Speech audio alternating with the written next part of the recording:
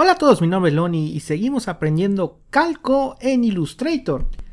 El día de hoy vamos a continuar con la imagen que ya habíamos preparado, aquel perrito que estaba dibujado como un boceto. Y lo voy a importar a Illustrator y vamos a trabajar con ello. Para eso vamos a empezar desde un archivo completamente nuevo. En este caso pues voy a utilizar eh, pues este formato de A4. Ya que se abrió voy a importar o voy a colocar la imagen que ya tengo preparada.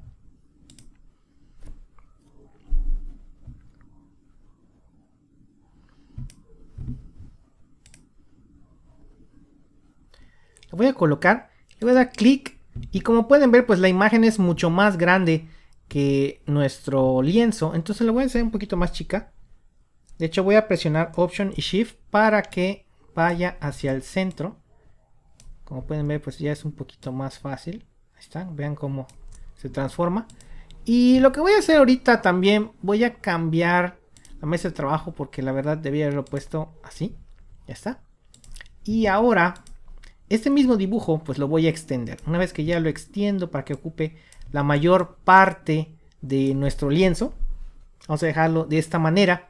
Y ahora lo que voy a hacer pues como ya habíamos utilizado, vamos a hacer calco de imagen aquí de la del panel de propiedades le voy a dar clic y aquí me puede dar por ejemplo varias opciones. Voy a utilizar la de por defecto nada más para que ustedes vean rápidamente cómo funciona bastante rápido.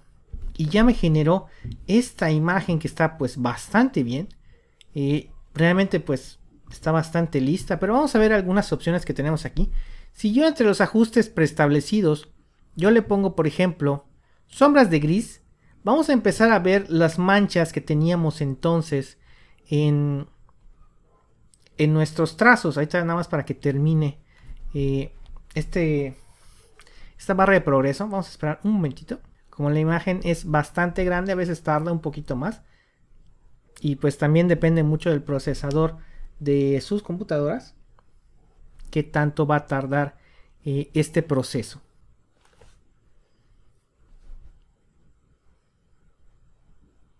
Ya que se termina, como pueden ver, ahorita, a ver, voy a acercar un poquito a esto. Ya podemos ver las manchitas que le decía yo del gris.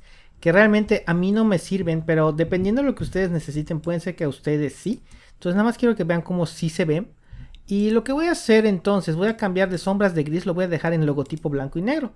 Porque realmente lo que quiero hacer es tipo logotipo blanco y negro. Y regresamos a este resultado. Aquí pues podemos ir viendo los resultados como ya habíamos visto. Entonces yo le voy, voy a acercarme un poquito más para que vean más la diferencia. Voy a dejar acercarme aquí a la cara y a la orejita. Y por ejemplo aquí en lo que es umbral le voy a poner más para que ustedes vean la diferencia.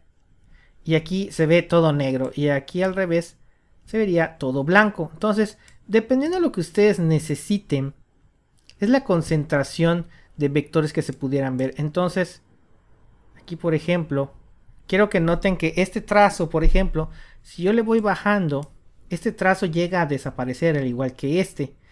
este ya no está. Entonces yo le puedo ir bajando dependiendo de lo que yo necesite para que esté lo más limpio posible. Esto me voy a alejar un poco, nada más para que yo vea el resultado.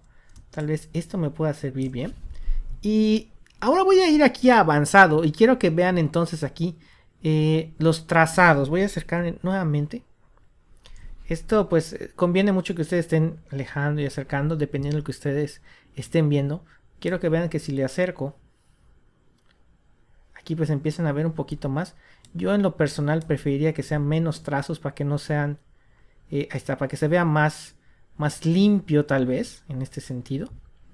Y en los vértices también le quiero bajar para que no haya tanta punta como esta, así, ahí está, aquí ya tiene un poquito menos de punta en los trazos. Y en lo que es el ruido igual le voy a bajar.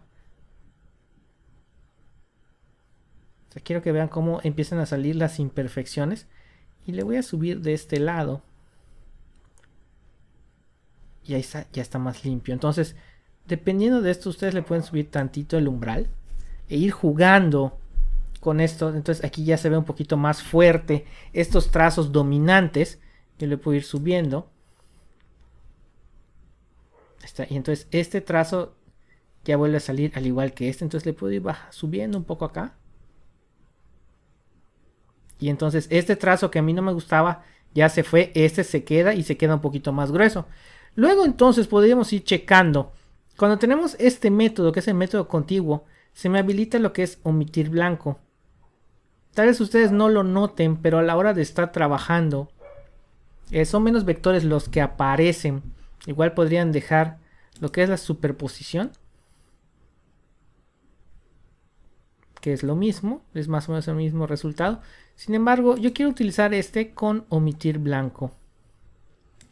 Y en este caso yo no quiero manejar trazos, quiero manejar puro relleno. Por esto pongo yo ajustar curvas a líneas. Quiero que vean la diferencia. Como los trazos quedan un poquito más delgados cuando le quito esto, pero cuando lo pongo ya está un poquito más trazado. Luego entonces, ya que tengo este resultado, yo puedo ver entonces la imagen origen y quiero que vean cómo se ve. A el resultado del calco y puedo ver el resultado del calco con contornos o el resultado con la misma imagen. Entonces quiero que vean cómo se ve por encimita, cómo estoy tomando ciertos eh, puntos o ciertas partes del perrito que yo quería. Y pues de alguna manera ya quedó lo que yo necesito. Entonces, una vez que yo ya esté conforme o esté satisfecho con el trazo, yo ya lo puedo pasar entonces a vectores, porque esto hasta ahorita es simplemente un resultado del cálculo. Esto lo podemos ir moviendo, corrigiendo y podemos eh, deshacer y rehacer lo que estamos haciendo. Pero una vez que le demos expandir, eh, ya va a quedar como vector. Entonces las dos formas para ir a expandir es en objeto, expandir o en la barra de propiedades de aquí le podemos dar expandir. Cuando yo le doy expandir, aquí me lo genera directo. Voy a deshacer nada más para que ustedes vean.